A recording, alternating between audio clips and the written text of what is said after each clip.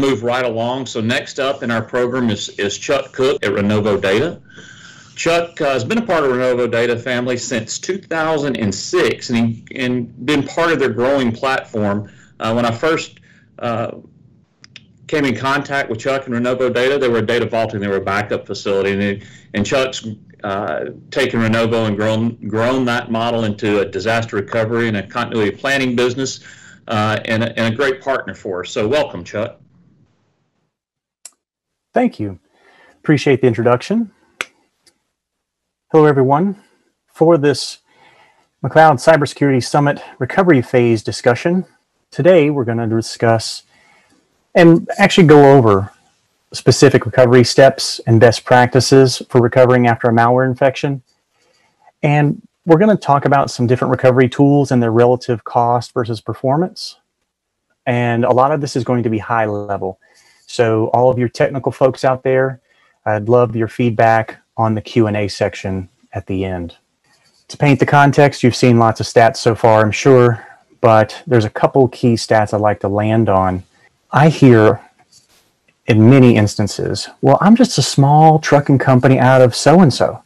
Why are they going to hit me? Well, they have found with this study that over 70% of the targets are small businesses, and they call them SMBs, small to mid sized businesses. And another scary stat is those SMBs, 75% of them don't have a DR plan. Those are the two bottom stats on the right and left.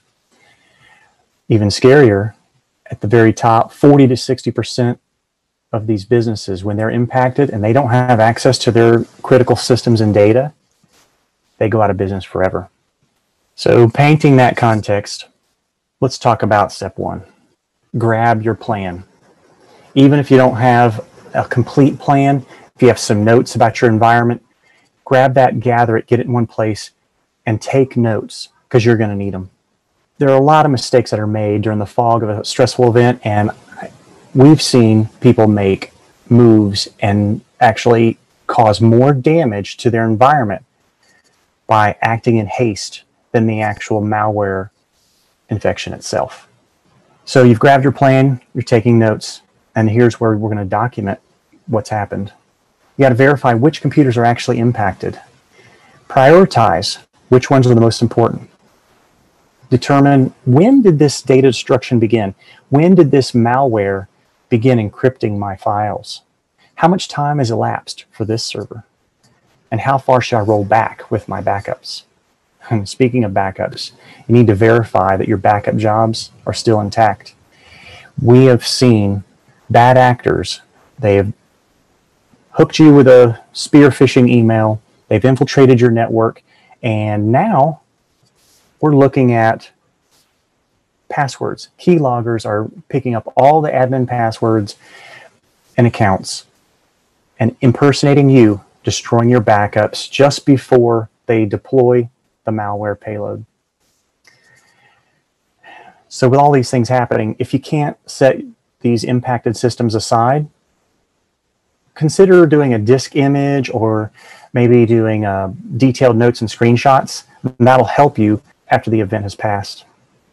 Another key thing before you're clicking on that Restore Now wizard on whatever favorite backup tool you have, make sure you've removed infected systems from the production network. Make sure you understand what you're up against. Research the malware variant that you're dealing with. Google is your friend. In some cases, you might have to completely rebuild your operating systems before you attempt any data restores. It's just going to depend on the backups you have and are available to you that and what will suit uh, things best given the malware variant that you're dealing with. Otherwise, make sure you use more than one tool to scan and clean for the infections. Again, you've done your research, so now in these environments, blogs, and other posting boards, people have shared their war stories so you can use the best tool to help you clean the infections.